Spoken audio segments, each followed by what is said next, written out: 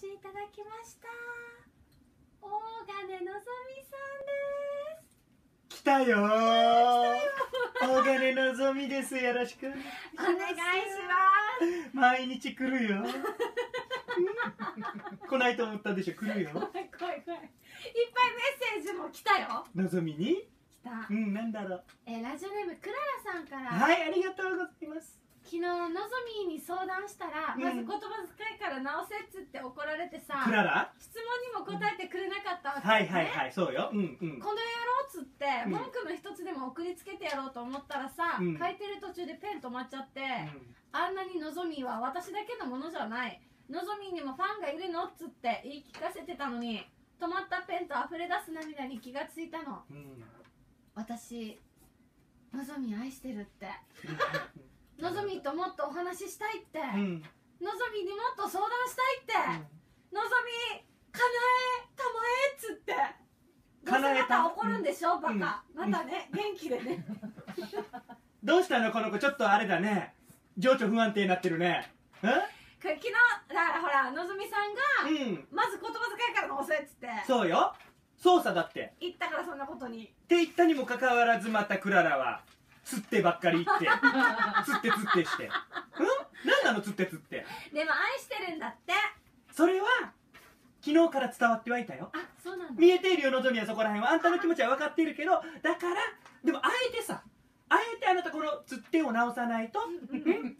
で今日はできたら背景から始めてほしかったよね。背景。でできたらね背景で始まって敬具で締めてもらいたかったですけどもでも大丈夫。私もクララのこと愛しているから。うん。問題ないよそこは。はい。釣ってだけ直しよかったね。両思いです。ショニゲップさんから東京都デザイナーブランドで23区ってあったあるけど、うん。宜野湾市の19区はなんでなくなったんですかね、はいはいはい。小学生の時、うん。学児奨励奨励会で、うん。家庭訪問の順番が3番目から1番目になりますようにと教頭先生がお祈りさせていたのにお祈りが足りなかったんでしょうか、うん。のぞみさん19区の行方を教えてくださいって。何19区って、あ知らないのあんたなんか。うん、やっぱり。宜野湾よ。なんで宜野湾あの私の友達の知念田慎一郎さんもうん。19区出身だわけさ。へえ。いろいろ本当は何区何区って名前があるでしょ？宜野湾だったら上原区とかね。うんいろいろ愛知とか。そうそうあああるんだけどそそこがなんかね19番目の区だからっていうことでいろんなもともと小さな集落が集まって19区って呼ばれてたわけへえそれが取っ払われたわけ今。なくなったの？なくなったっていうかちゃんとそれぞれの名前になったわけ。さあそうなんだ、うん。あじゃあ19区出身でいらっしゃる。知念田さんはね。ああそうかそうか。うん私も生まれは与那原だから。ちょっとまた違うんでですけども。そういうことなんうんうんうん。そうよ。そういうことか。19区はだからあの19区がなくなったわけじゃない。あそっか。19区は宜野湾市民の心の中にいつもあるから。大丈夫です。心の中の19区とね19区とこう向き合ってください。大丈夫ですよ。心配しないで。心の中の19区。次次行きなさい。ナンバー15歳から、はい。のぞみさんは普段出てきなさいとかちょっと周り中途半端なものまでしないで何今出てきてくださいあちゃちゃんとやるちゃんとやって出てきなさちょっとうまいちょっと上手よ、い例が用意してうん、何言ったか覚えてないとか言ってますが、はい。本当はただ照れ隠しなんじゃん照れ隠しなんじゃないかと思うんです。ん？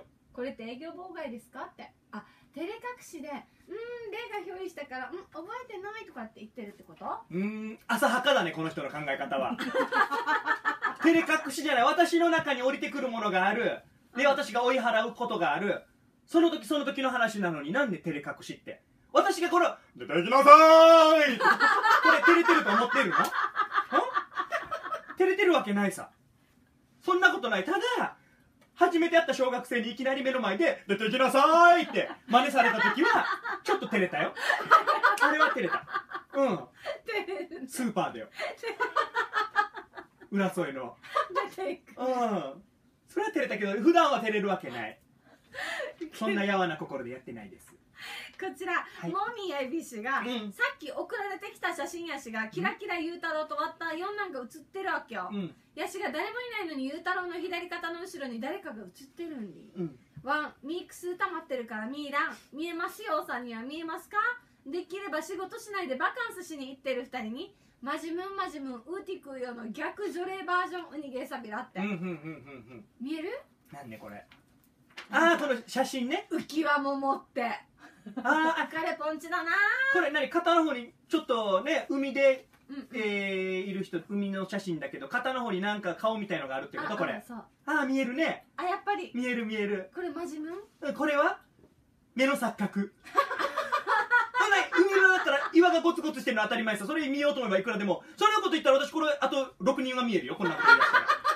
あ？ゴツゴツのところでもそうやって怖がってるんだったらお祓いだけしとこあしてください、うねお祓いだけしとこうね。そうだね。そうした方がいい？どうあする？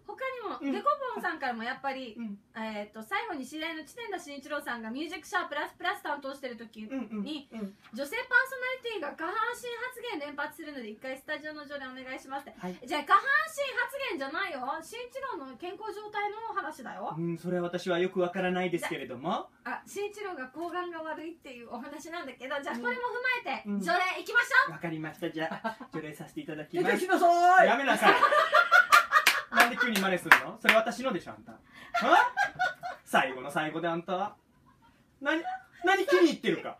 何を気に入ってるかその問題聞いたからできる気がしてやりたかったわけ。もう除霊するよ。うがんするよ。